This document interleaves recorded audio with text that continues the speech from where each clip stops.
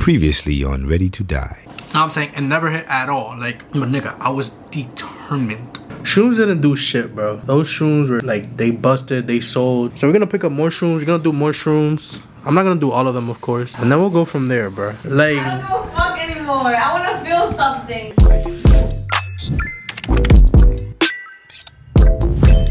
I started hitting up other plugs. I was like, who got shrooms? I need that. Expeditiously. I was looking like a cracker. But it's like, y'all gotta understand, like at the time I was working, I didn't have a lot of off days. I had planned that specific day so I could take shroom and I could experience it, you know what I'm saying? So I had found another plug and he he was like in Brooklyn and shit and thank God like the hotel we was near like it was downtown so like Brooklyn wasn't even that far you know what I'm saying it was a couple stops so I went and linked them I picked up the another set another eight for shrooms nigga um it was either like blue envy or some like some penis shit like penis. What do you mean by that? bro you gotta know like these names for the shrooms they type ayo so like like you know what i'm saying? Don't mind that. But i got and got the new shrooms. Now the new shrooms look deadly nigga. The new shrooms was colorful. The new shrooms look like some shit they just picked off in the motherfucking forest nigga. like some some elfin motherfucking fairy tale type shit. Like the shrooms was looking know what I'm saying? So I was hyped as fuck. And I knew these shits was gonna bust because like the dude looked sketchy, know what I'm saying? The nigga handed me the bag like type different, like it was just, I knew nigga, I was on time like you could just tell off the energy, like I was really holding some shit that was radiating some other shit, know what I'm saying? Um, fast forward, niggas got to the hotel. I told my best friend, I'm like, yo, like I got another set of shrooms. He was at work at the time. I told my best friend, I got another set of shrooms. If you wanna pop out to the telly, know what I'm saying, vibe out with me and Shotty, um, pull up, you know what I'm saying? I might have some shrooms for you. Um, but then my friend was telling me like, oh, the last time you took like, like we split it half half. You know what I'm saying? Like it was an A fee, so we, but I had more of it. So I had like two grams and she had one gram. And I don't know if that's microdosing, but for the first time, nigga, a whole like I violated. Like that's the first the first bag of shrooms was supposed to hit, but it didn't. But it's not like I took a small amount. Like I took 2.2 or 2 point something grams of fucking shrooms, and she had taken like, you know, like a couple caps and a couple stems. Now the second time around, nigga, she told me she was like, oh, you you might as well take like more so you could really feel it. So like, you know what I'm saying? It won't be disappointing like the first time. Mind you, the first time I didn't feel anything at all. And I'm not I'm not tripping. Like, y'all probably think, oh, maybe he was feeling something and he didn't know. Like, I'm not tripping, bro. I didn't feel anything. Like, I hit Shutty up and I was like, yo, bro, like that shit did not work. And she was telling me about how other people were telling her, oh, they like how their experience and shit.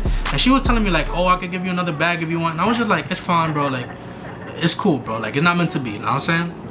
But so the second time around, I took, I took like, I took the majority of the shrooms, and it was a new eight, so I took like 2.7, nigga. Like, I might have taken three, like three grams off rip, like that. Like, I put a timer and shit. We in the telly, we chilling, we just, you know, chopping it up. Uh, I think my best friend shows up and shit, like a couple minutes later. And it's like, as soon as he shows up, I'm telling him, I'm like, yo, that shit hit me. But it's weird because shrooms is not like weed. Like, you could take a pull and that shit hit you right away. Shrooms is like a progression, you know what I'm saying? Like, shrooms is like, it's like this, look. Like, you know what I'm saying? And then, and then you come down, you know what I'm saying? Entonces, bro, after like 30 minutes, uh, yo, bro, I can't describe what the fuck I'm feeling. Like, I'm on the bed, right? I'm on the bed feeling deflated. I'm on the bed feeling like this, shorty, bro. I'm on the bed like, yo, why do I feel like this? And it's weird. so I took shrooms and this is what happened. Nothing. I turned into a fucking vegetable, bruh. bro. Like, I was questioning mad shit. I was questioning everything. If that's the biggest fucking take that I got from shrooms, that shit makes you question everything. Bro, there was like, y'all know this painting? Right. There was like a lamp covering my face on the mirror. And my best friend was about to move it. And I'm like, yo, yo, yo, yo, yo, bro, chill. Don't move it, bro. Because if you move that, like, I might lose my identity. You know what I'm saying? Like, it was like the attention to small detail. Everything that was really small became something really like big to me. Know what I'm saying? So like let like it gave me OCD type shit. Like let's say this shit was placed right here, right?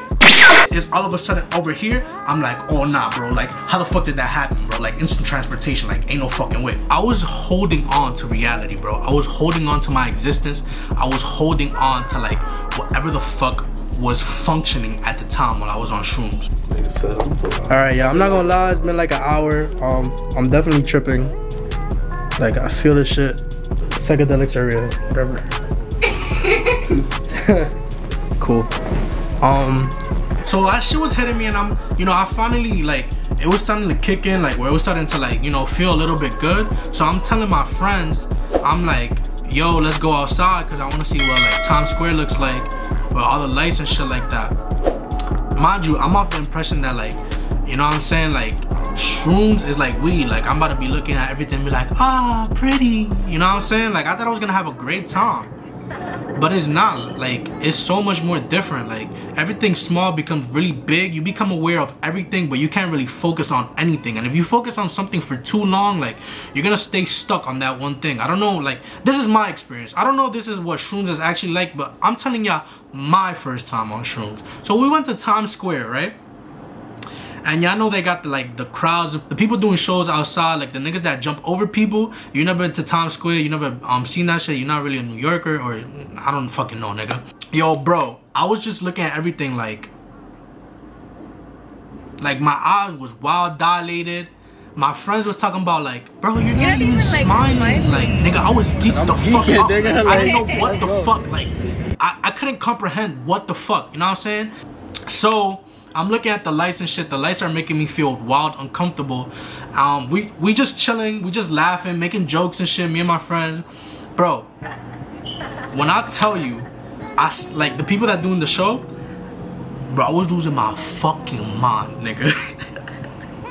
I was losing my mind, bro, because this nigga, bro, one of the Showtime people, this nigga lined up like 12 heads, bro.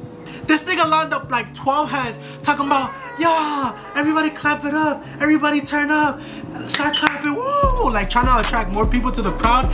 This nigga lined up like 12 heads, bro, and he was like, I'm about to jump over them, I'm about to jump over them, and I was like, I was looking at everything in slow motion, I was like, yo, bro, if he jumps over 12 people, like, like if he does a flip over 12 people, like, my, like I'm gonna lose my grip of reality. Like, like, like in that moment, that felt so important. I was like, yo, bro, I'm not gonna. I was telling my friends, and they thought I was joking, but yeah, that shit was dumb funny. I was telling them like, yo, bro, if that one human jumps over 12 heads. Like this shit was like a looking like a like a monster truck derby. You know what I'm saying? Like it was not it was not regular.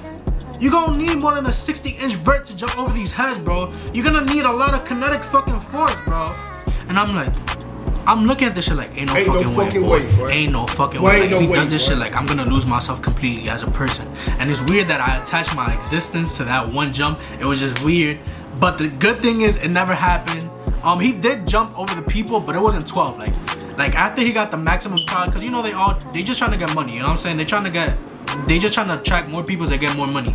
So when there was a like a really big crowd, like he started rem- he removed mad people and then he jumped over like five or six, which is still like crazy, but it wasn't the initial 12 where it was like, damn, nigga, if you jump over that many people, like I'm gonna think that you're a fucking alien. At this point, I'm feeling uncomfortable. I'm starting to dis disassociate, like remove myself from my surroundings. We go back inside, right? And yo, bro, I'm tweaking. Like at this point, I'm I'm getting the the the effects that every the common effects that everyone talks about. Like you know when it like I was looking at everything and everything was moving. I'm gonna try to um give y'all some visuals like on the video so y'all can know what the fuck I'm talking about or y'all can get a reference. Now when y'all see these visuals and y'all like, bro, ain't no way that that's what it looked like in reality.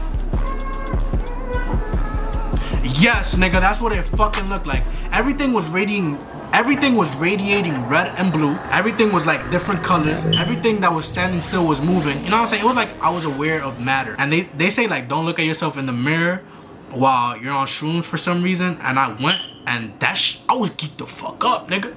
I was looking at myself in the mirror like but I didn't look too long because like apparently that shit like brings fear or attracts fear, right? So let's get to the motherfucking juice. Uh, by the way, sh on shrooms, music sounds really fucking good. Mind you, I was going through a heartbreak, so I was sad as fuck on the inside, but I didn't want to portray that to my friends, so I was trying to keep my cool. Like I was really trying, I was trying really fucking hard to keep my composure. It made me, like everything came to a realization. Like I was like, wow, bro, like I'm going through a breakup.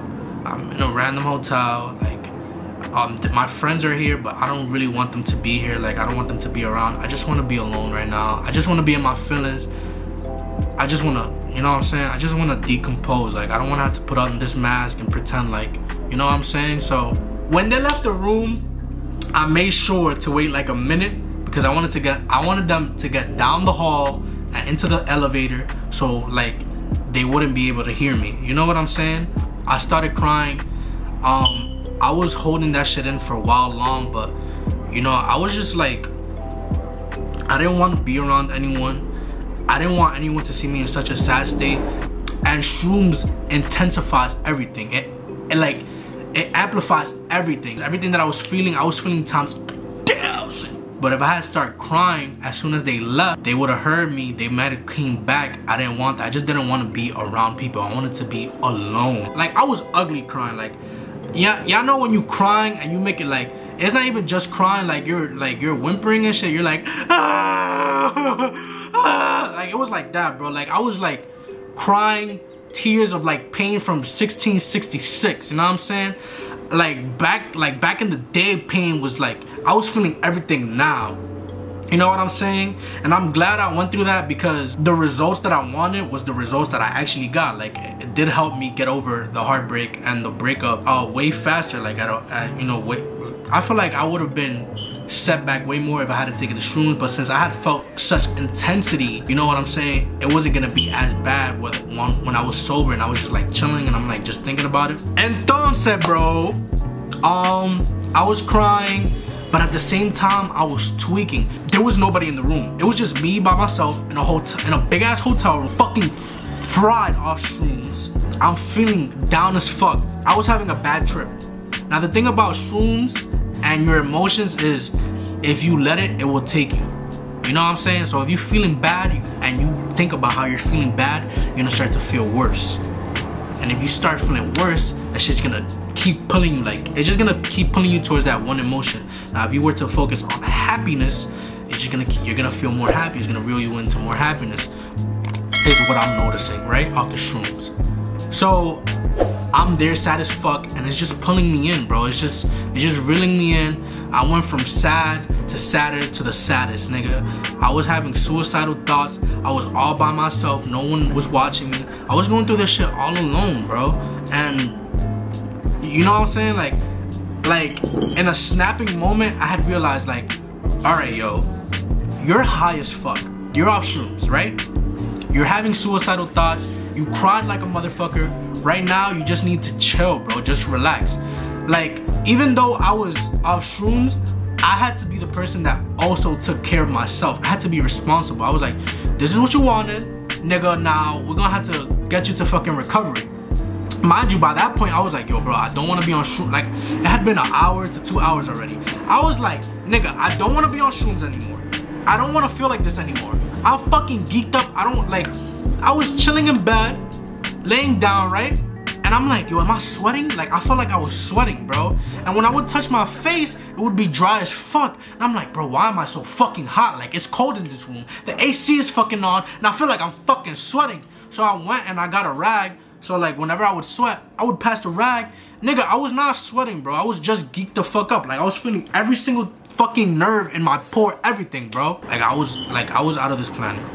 And it wasn't even really good. Like like I didn't have the experience where it's like I met a bunch of fucking elves and you know they they they told me like my life purpose. It was just a bad experience, bro. And I told myself like, yo, after like I realized that yo, you're already high, like you can't go to the hospital, none of that. Like, you can't do nothing right now. Ironically, I had gone to the hotel, so I didn't have to be home. Nigga, when I was in that hotel room by myself, all I could think about is how much I wanted to go home and how much I wanted to be in my own bed, at my own comfort, in my own room. You know what I'm saying? I was like, all right, bro, you gotta relax. Eventually, this is gonna pass over and you're not gonna feel um like you're on shrooms anymore. You're gonna be chilling. You're gonna be okay. This is me trying to comfort myself, trying to take care of myself, trying to pull myself back from, you know, the depths of fucking a bad trip. I'm saying I was trying to just, you know, tell myself positive things. So I would start thinking positively and, you know, start feeling better.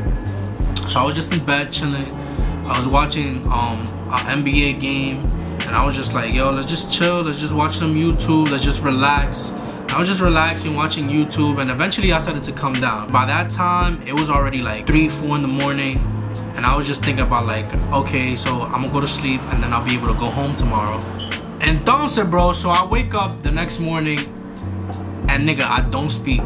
Like I'm silent. I don't want to speak to anyone. I don't want to talk to anyone. I just want silence, bro. Did, on God, I didn't speak that entire day. I, on God, I didn't speak for like a whole 48 hours. Like I was silent for 48 hours. I was going through all this shit, internalizing it. I didn't want anything to do with the exterior world. Like I just like silence, bro. Don't talk to me. I left the hotel and I went home. I was just thinking about everything that I had gone through, all my experience, and I was just like, this is this is the outlook that I got from shrooms. From my first time on shrooms, this is from my first time on shrooms, I told myself a couple of things. Number one, I wanted to be completely sober. I didn't want to smoke, I didn't want to drink. Like from that, like it's it's ironic because I took shrooms and it made me completely sober. Like like I didn't want to smoke, I didn't want to drink, none of that shit. Like I don't want to do drugs ever again. Like that's how I was feeling, right? I wanted to take life very serious. You know what I'm saying? I didn't want to take anything as a joke. If I was gonna work, work hard. If I was gonna go to the gym, you know, work out hard. If I was gonna do YouTube, do YouTube. Like, go hard at everything. Being on shrooms made me a very serious person. I told myself like, yo, bro, you have to take life more serious. You can't just be taking shrooms and having these experiences and like doing this to yourself. I know you're going through a heartbreak and it's really tough but you have to get serious about your life. You need to stop fucking around. I don't know if I said two or three, but those are the like major things that I got out of it. Like, one, I want to be sober. Two, I want to take life more serious. And three, like, I just wanted to heal. I just wanted to feel better. I just wanted to, you know what I'm saying? Like, start connecting. You know what I'm saying? Because by that point, I feel like I had lost myself and I was really disconnected from myself. Like, sure, I was working out and I was like in one of the prime physiques in my life. I was in best shape, but I wasn't mentally there and I wasn't like loving myself the way that I wanted to. You know what I'm saying? I didn't have the confidence that I wanted to. Stuff like that, right? I got home, I was just like taking everything very serious, bro, because like it just made me realize like this life shit is not a joke. Like, sure, this is a, a physical experience and you're supposed to be here to like, you know, but like if this is gonna be a physical experience, like let me take it serious, let me enjoy it, like let me go hard at this shit. Like, who knows the next time you might be born as a human? Like the next time you're born, you might be born as a fucking like a spritz bottle. Maybe you might be born as a sticker and just be placed somewhere and never looked at ever again. Up inside your phone, why don't you visit me? So I can feel at home.